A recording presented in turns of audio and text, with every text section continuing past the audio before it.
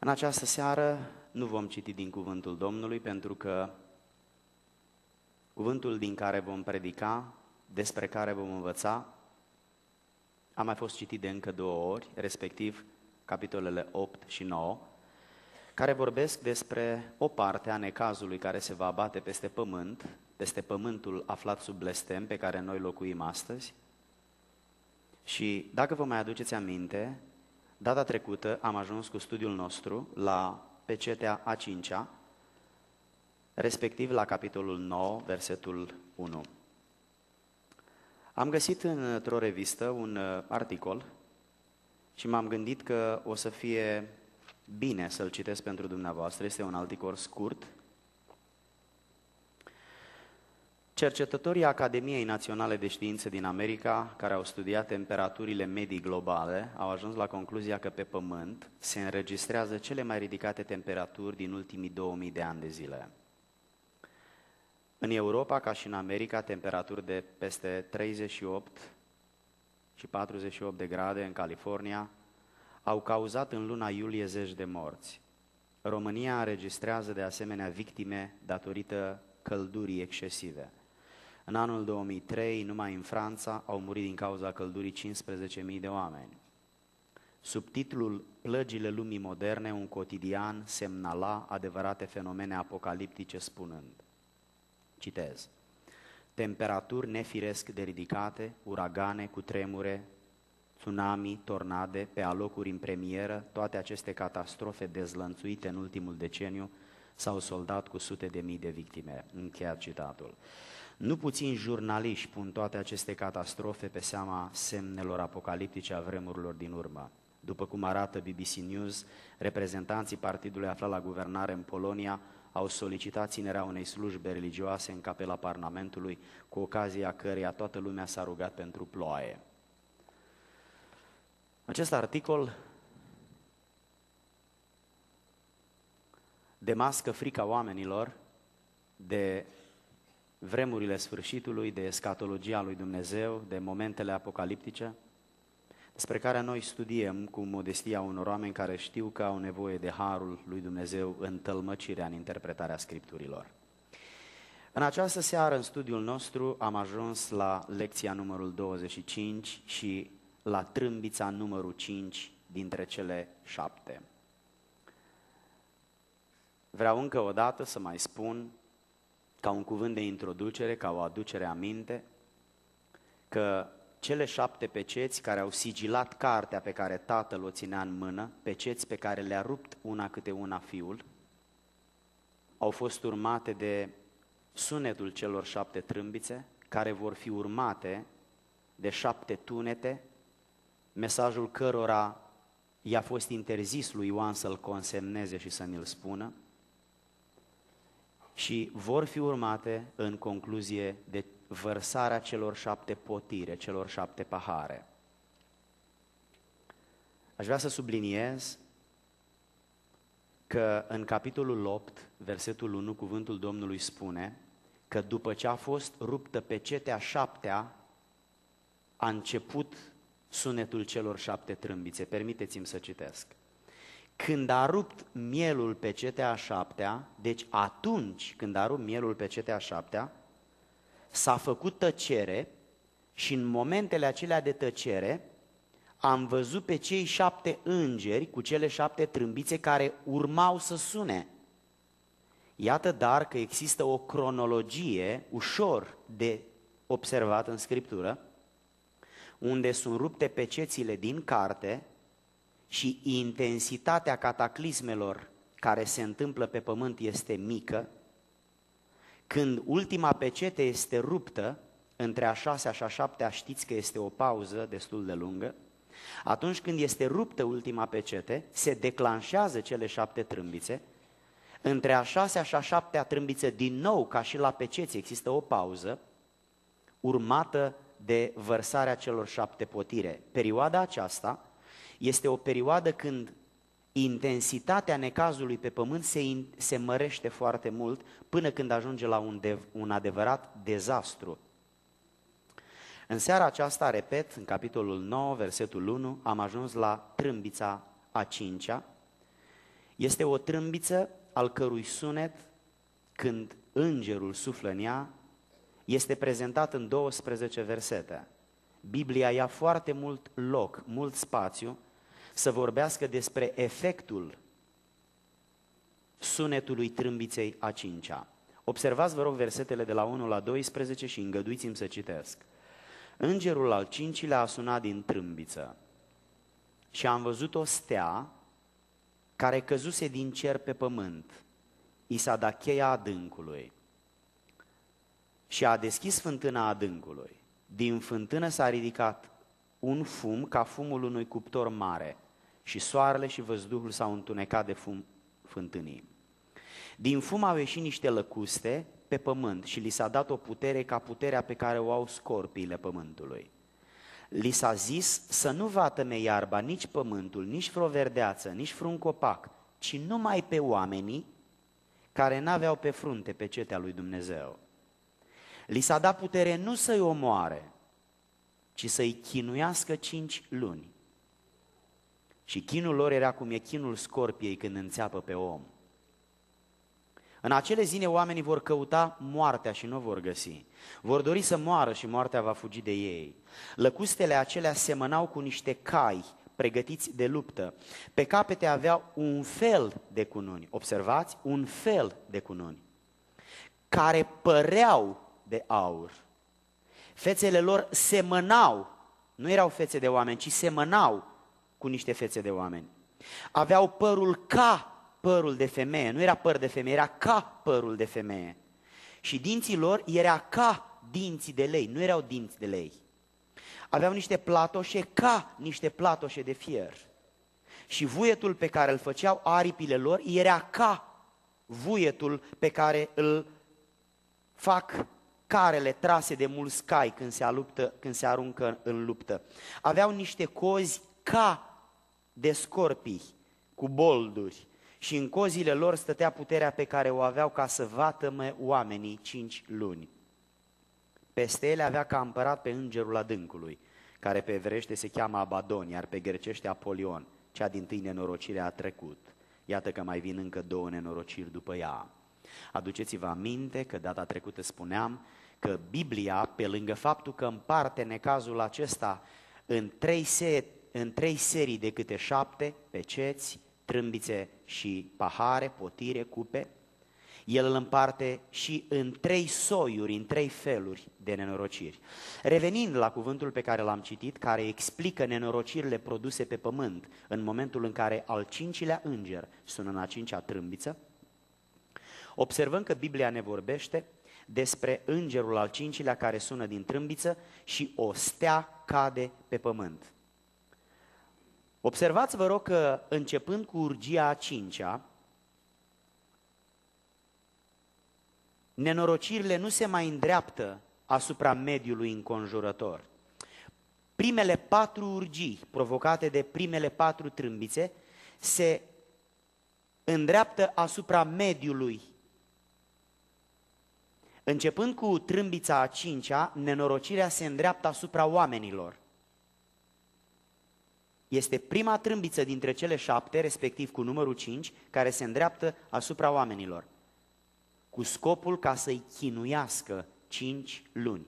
Chinul va fi atât de mare încât Biblia spune că oamenii vor dori mai bine să moară și să scape de chinul acesta, dar nu li se va da harul să moară. Ce har!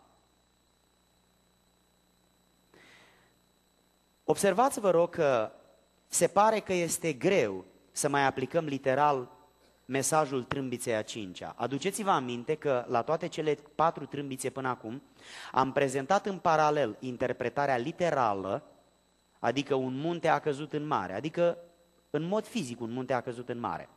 Dar putem să interpretăm și spiritual, să simbolizăm.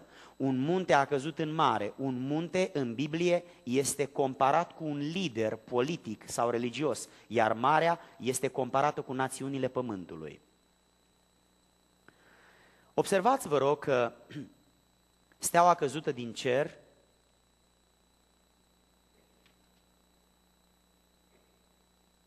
din capitolul 8, versetul 10, permiteți-mi să citesc, al treilea înger a sunat din trâmbița și a căzut din cer o stea mare, care ardea ca o făclie. Aduceți-vă aminte că de multe ori am făcut următoarea afirmație. Când Dumnezeu l-a aruncat pe Lucifer, liderul îngerilor închinării, din cer, nu l-a aruncat pe pământ. Este foarte important să știm lucrul acesta. L-a aruncat în văzduh. De aceea Biblia ne spune că puterile celui rău sunt în văzduh.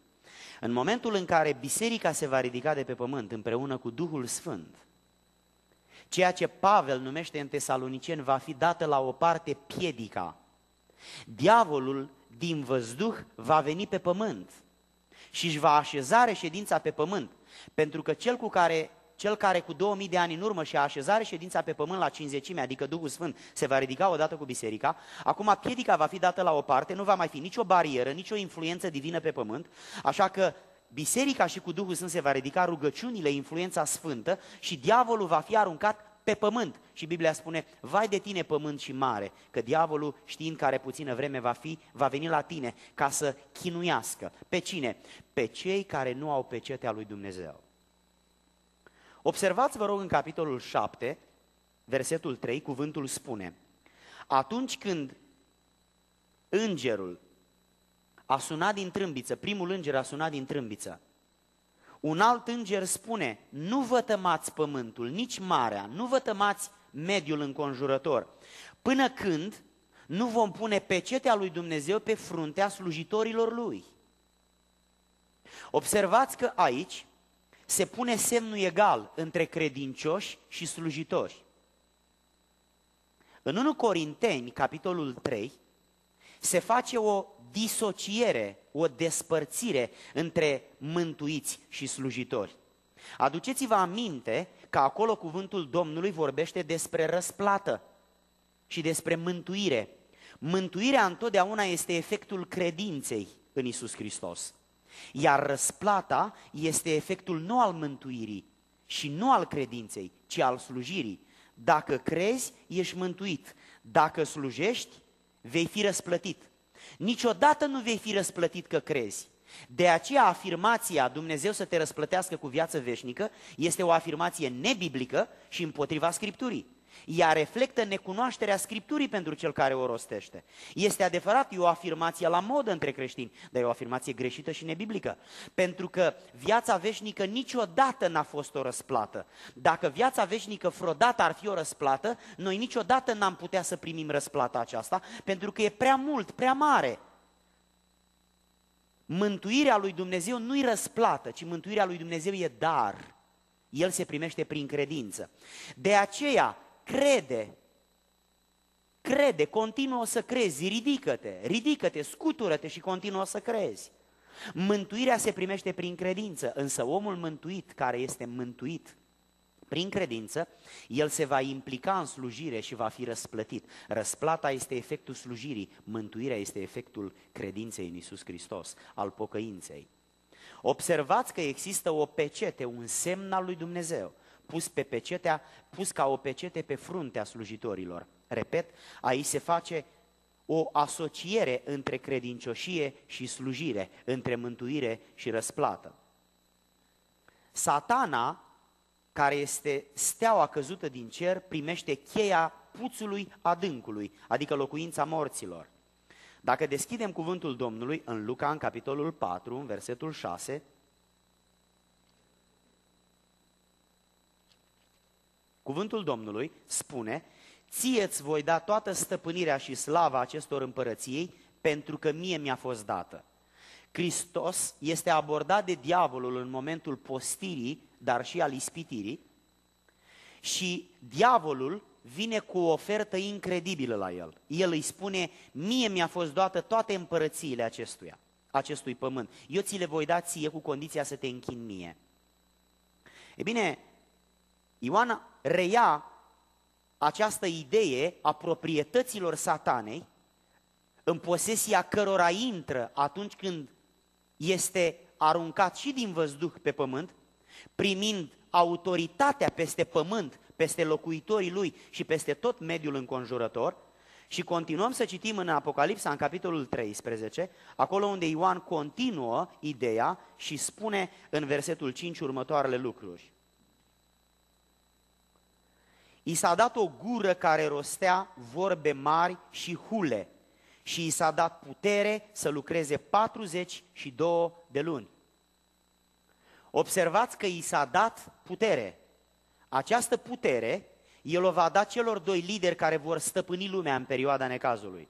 Liderului religios, numit anticrist, liderului politic, numit anticrist, și liderului religios, numit prorocul mincinos.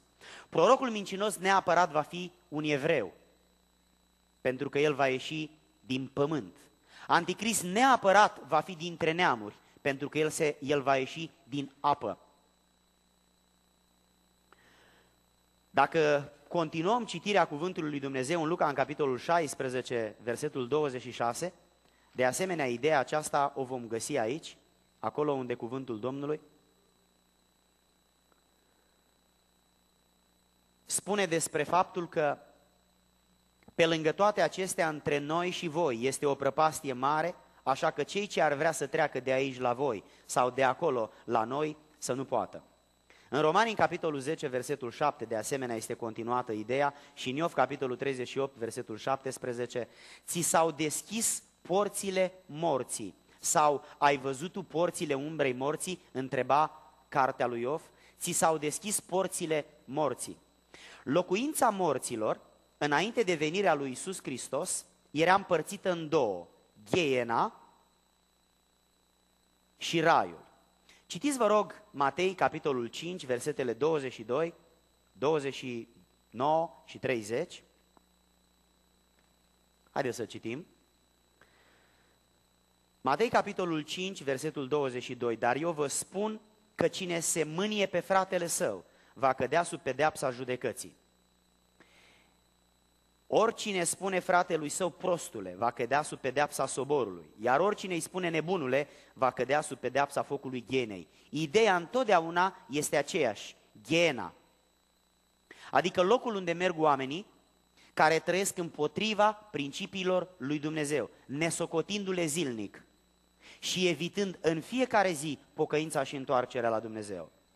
De asemenea, ideea aceasta se rea în aceeași carte, în capitolul 10, în versetul 28, unde cuvântul Domnului spune Nu vă temeți de cei care ucid trupul, dar care nu pot ucide sufletul, ci temeți-vă mai degrabă de cel ce poate să piardă și sufletul și trupul în gheienă. Iată dar o parte din locuința morților înainte să vină Isus Hristos. În Luca, în capitolul 23 însă,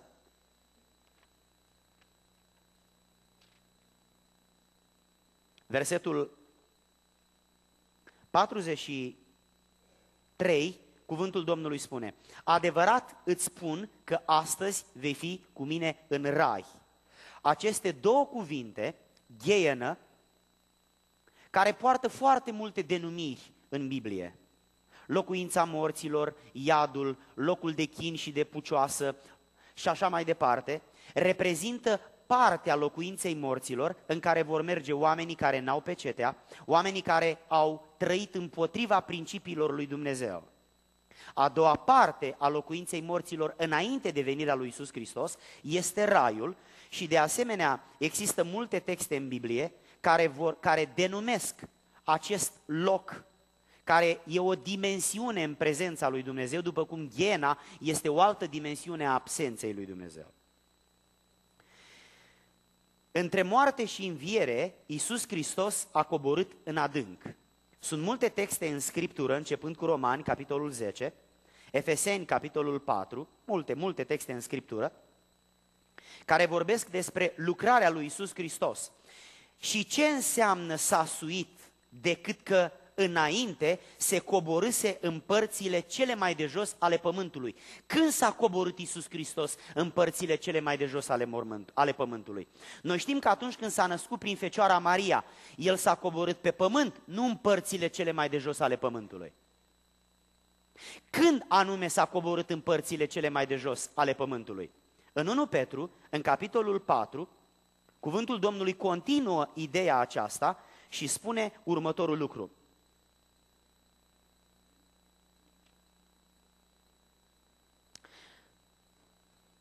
Hristos de asemenea a suferit odată pentru păcate. El a venit pe pământ. El a fost omorât în trup și a înviat în duh. În duh s-a dus să propovăduiască duhurilor din închisoare. Aici, cuvântul în limba greacă este locuința morților, ghiena, partea aceea, jumătatea aceea din locuința morților. El a mers în locuința morților în ghienă, ca să propovăduiască duhurilor din închisoare, care fusese răzvrătite odinioară, când îndelunga răbdarea lui Dumnezeu era în așteptare, în zilele lui Noe, când se făcea corabia. Observați, vă rog, că înainte de venirea lui Isus Hristos, locuința morților conținea, celor, conținea celor, cele două dimensiuni, Gheiena și Raiul. Hristos a mers în cele trei zile în Duh, a coborât în adânc pentru, răz, pentru eliberarea credincioșilor din vechiul legământ. Începând cu învierea lui Isus Hristos, cu ridicarea din moarte, sufletele credincioșilor nu mai merg în locuința morților. În locuința morților, aduceți-vă aminte de psalmul care spune porți, ridicați-vă larg, deschideți-vă larg, ridicați-vă capetele porți veșnice. De ce? Pentru că intră împăratul slavei. Pe lângă faptul că noi predicăm că Isus Hristos, când a murit pe Golgota, când a fost mort și când a înviat, această lucrare a făcut-o pentru restaurarea spirituală a oamenilor care cred.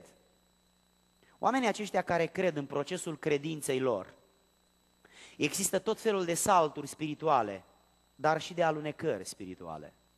Aduceți-vă aminte de Petru, aduceți-vă aminte de David, Aduceți-vă aminte de toți ceilalți sfinți ai lui Dumnezeu. Procesul vieții spirituale unui om, a unei familii, a unei biserici, este foarte oscilant de la o perioadă la alta.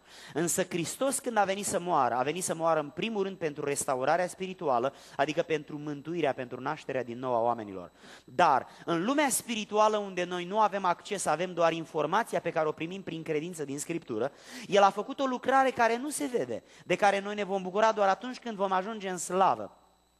Sufletele oamenilor mântuiți nu mai merg ca înainte de Isus Hristos, în locuința morților, ci ele merg direct în prezența lui Dumnezeu. Dumneavoastră știți că există multe cuvinte în Scriptură, multe expresii, care definesc locul unde vor merge sufletele celor mântuiți, evitând locuința morților, unde merg doar sufletele celor nemântuiți. Omul când moare,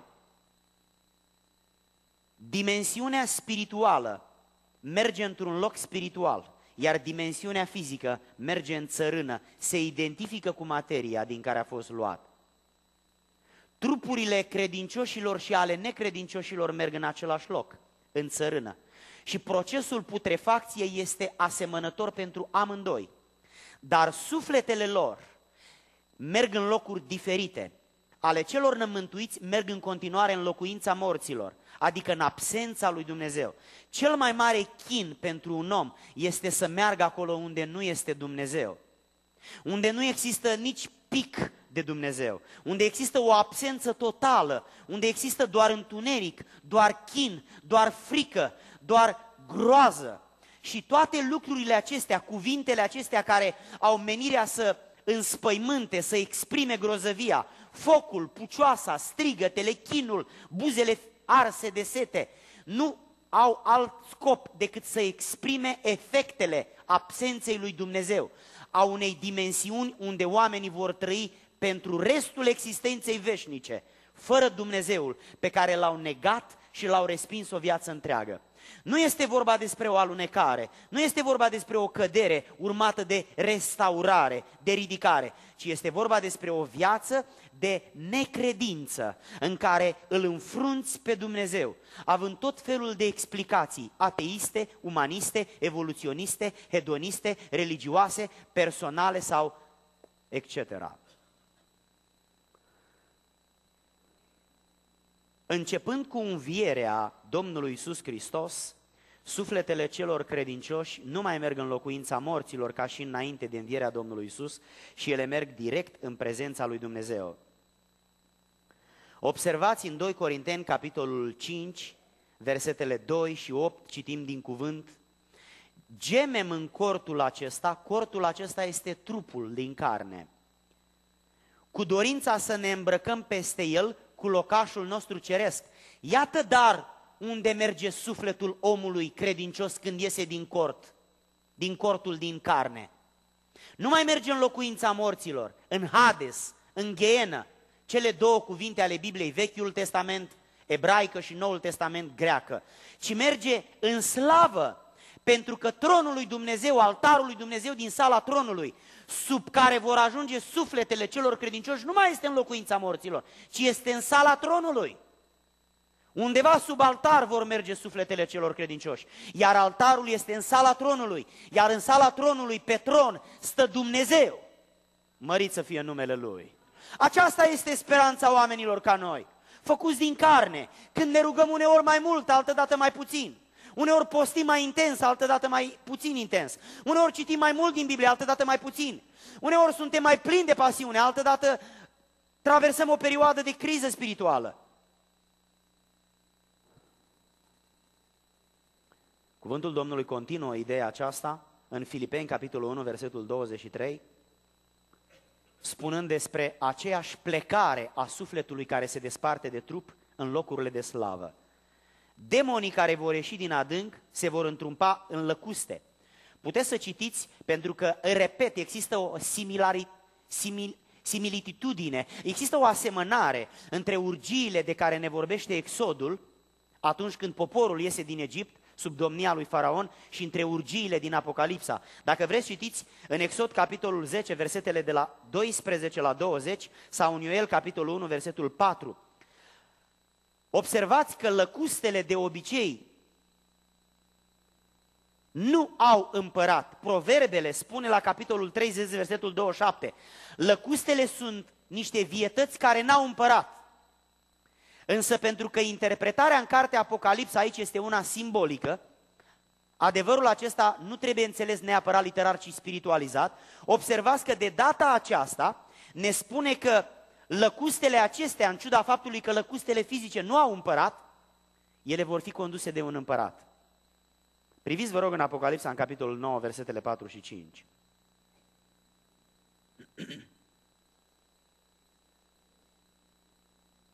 De asemenea, încă un lucru important, aici sunt niște cuvinte care sunt folosite pentru comparație. Ca, cum. Am încercat să le subliniez atunci când am citit aici.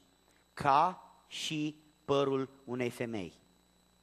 Pentru că oamenii din vremea lui Ioan nu înțelegeau abstract ce a văzut Ioan, pentru că erau niște lucruri care vor apărea tehnologic mai târziu, Ioan a încercat să facă o comparație cu lucruri care existau deja.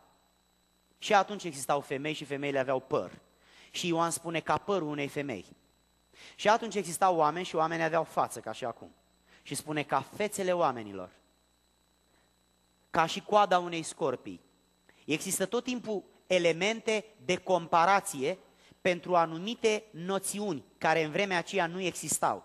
Și pentru că nu existau, Ioan nu știa cum să le numească. În vremea bunicilor noștri nu existau cuvinte care există acum. Internet, e-mail și o grămadă de cuvinte care definesc părțile tehnice dintr-un computer. Nu existau aceste cuvinte pentru că nu existau realitățile tehnologice. S-au inventat realitățile tehnologice și s-au inventat și cuvinte care poreclesc, care denumesc aceste realități. Ei, în vremea aceea Ioan vorbește despre niște lucruri care nu existau, el le vede doar în vedenie, le vede doar în împărăția lui Dumnezeu și încearcă să transmită mesajul oamenilor, dar nu știa cum să le denumească. Și atunci caută lucruri cu care lucrurile acestea semănau și spune ca și, ca și, ca și. Folosește comparația. Observați, vă rog, că Demonii aceștia au foarte multe caracteristici. Ies din adânc. Întotdeauna demonii ies din adânc.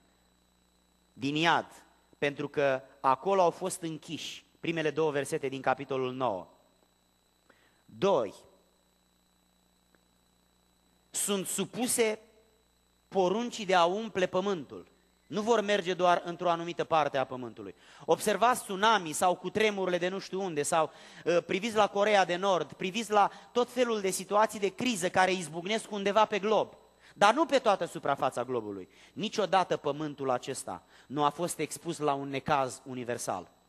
Și în vremea Imperiului Roman, în anumite locuri, exista un guvernator care avea clemență și îi lăsa pe creștini mai liberi, ei își construiau biserici, iar în alte părți ale Imperiului exista un alt guvernator rău care îi omora pe capete. Ei, toată istoria oamenilor este presărată cu această diferență de stare de la un guvern la altul, de la o poliție la alta, de la o armată la alta. Dar când vine necazul cel mare, atunci tot pământul va fi umplut în egală măsură cu durere, cu sânge, cu chin și cu dorința să moră mai bine decât să suporți nenorocirea. Demonii care vor ieși din adânc, din locul unde au fost închiși, a treia parte care a fost atrasă de diavolul, nu vor merge doar pe un continent, doar la sărați sau bogați. Ei nu vor mai fi opriți de armata americană, nici de dolarii americani. Ei vor umple pământul, spune Scriptura. Nu mai ai unde să te ascunzi. Că vei fi în Bangladesh sau în America nu mai are nicio importanță. Vor veni demonii, vor veni lăcustele și vor chinui pe oamenii care nu au pecetea lui Dumnezeu. Soluția nu-i cetățenia, ci pocăința. Soluția nu este îmbogățirea, ci pocăința. Vechea și noua pocăință.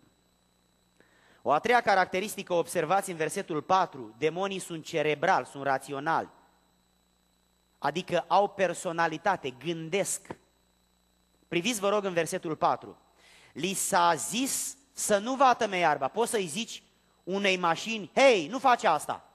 Nu poți să-i zici că mașina nu are minte. Mașina are doar butoane, apeși pe buton și pleacă, apeși pe un alt buton se oprește, apeși pe un buton să deschide geamul, apeși pe un alt buton să ridică geamul.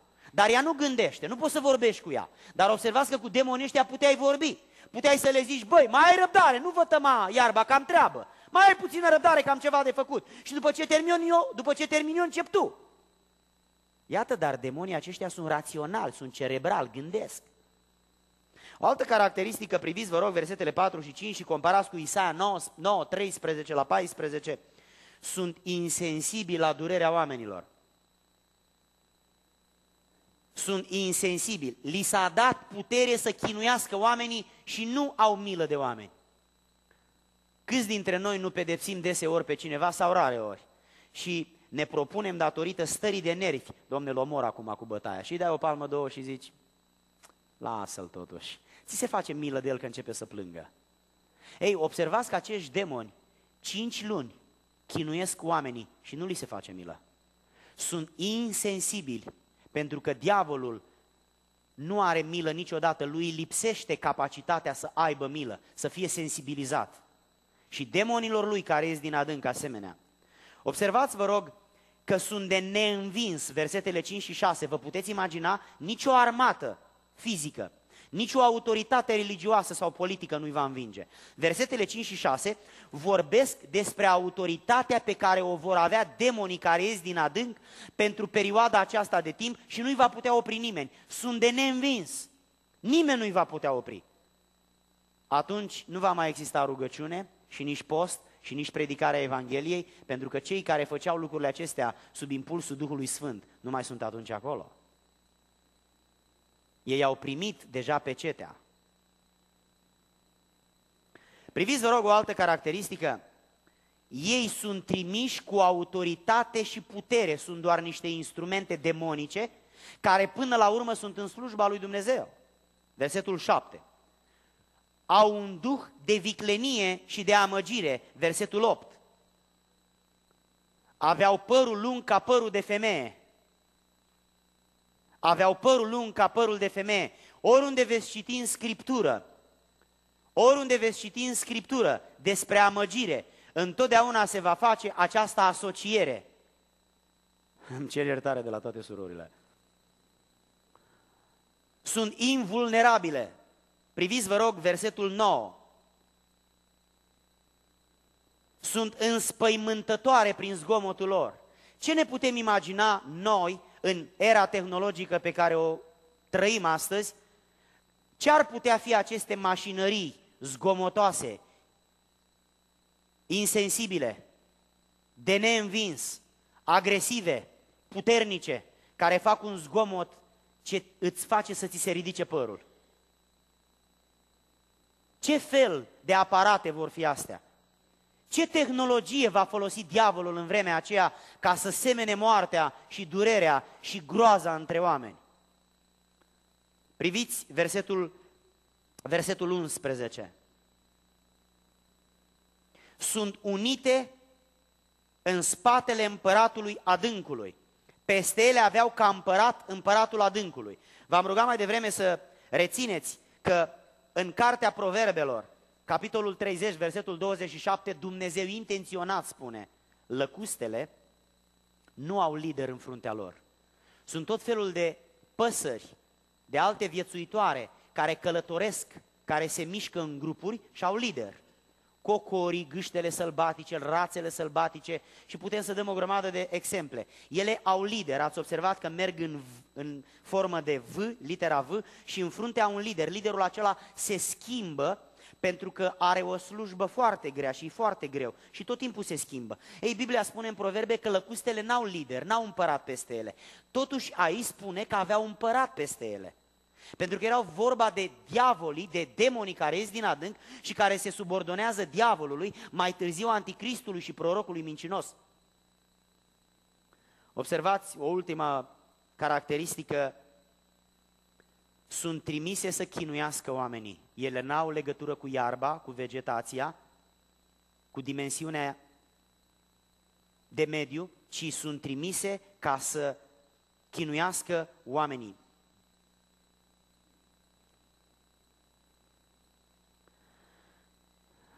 Versetul 13 până la 21 vorbește despre trâmbița a șasea cu care noi încheiem în seara aceasta. Urmează capitolul 10, unde se vorbește despre șapte tunete, al căror mesaj Ioan nu ni-l spune, pentru că la rândul lui primește interdicție din partea lui Dumnezeu să ni-l spună. Și în capitolul 11 se reia ultima trâmbiță, cea de-a șaptea, și apoi se continuă cu vărsarea celor șapte potire. Suntem în plin necazul cel mare. Pe pământ există sânge, vegetația este distrusă, izvoarele de apă sunt în mare măsură distruse, o mare parte din flotă, flota maritimă, este distrusă, pe pământ nu mai există prea multă apă potabilă, nu mai există prea multă hrană, soarele, asterele cerești și-au schimbat pentru prima oară în istoria existenței lor traiectoria și pentru prima oară autoritatea care le conducea este învinsă. Și începând cu trâmbița a șasea, observați că se dezlănțuie nenorocirea a doua. Este adevărat că sunt foarte multe elemente pe care eu le spun și eu știu, sunt sigur că sunt greu de urmărit. Tot timpul fac tot felul de comparații cu noi expresii pe care trebuie să le puneți pe fiecare la locul lor, altfel mă pierdeți și rămâneți în urmă. La trâmbița a șasea, începând cu trâmbița a șasea, se declanșează nenorocirea numărul 2.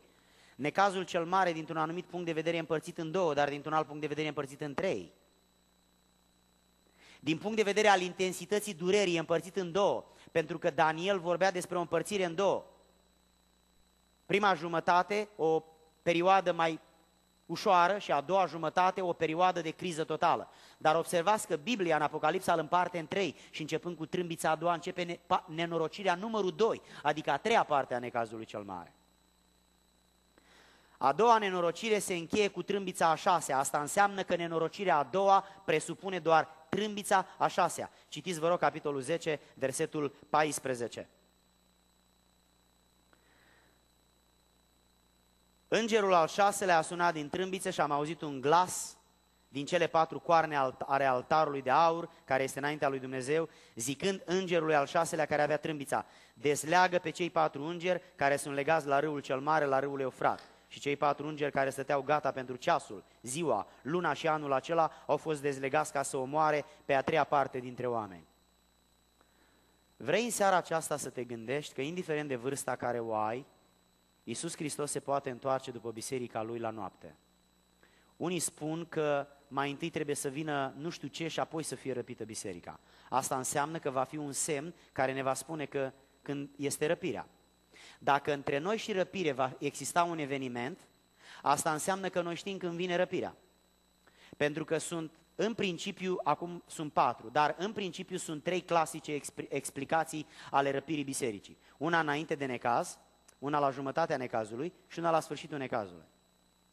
Cea, de la, cea răpirea dinaintea necazului face excepție, dar următoarele două, de la jumătate și de la sfârșit, intră în categoria celor două explicații ale răpirii, potrivit cărora răpirea poate fi așezată în timp. De ce poate fi așezată în timp?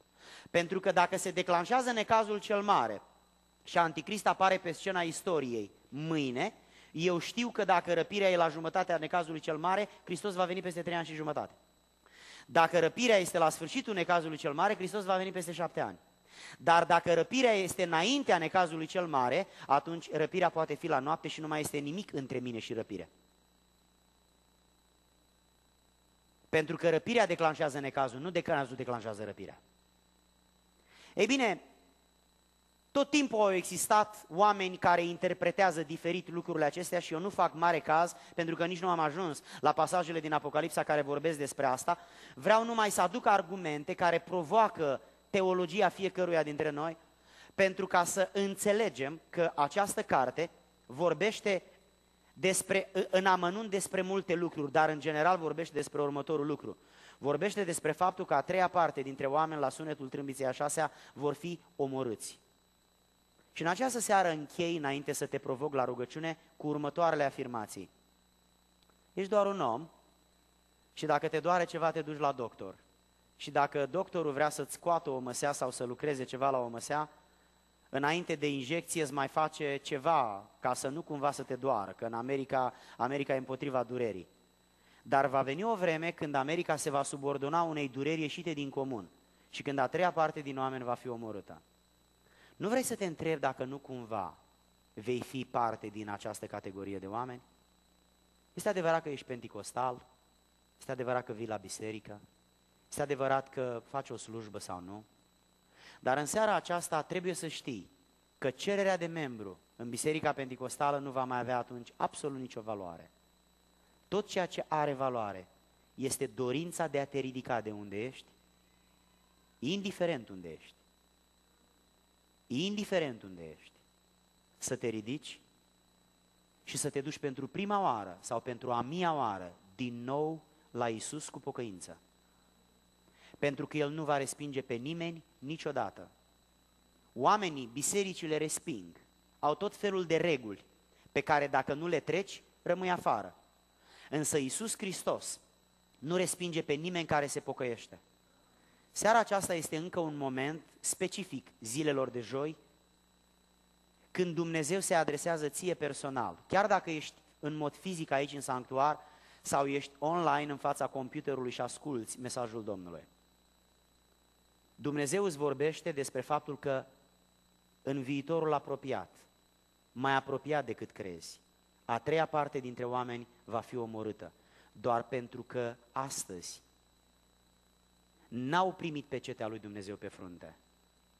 Nu s-au ridicat din starea de păcat, de obiceiuri păcătoase și nu s-au îndreptat cu pocăință înspre Domnul.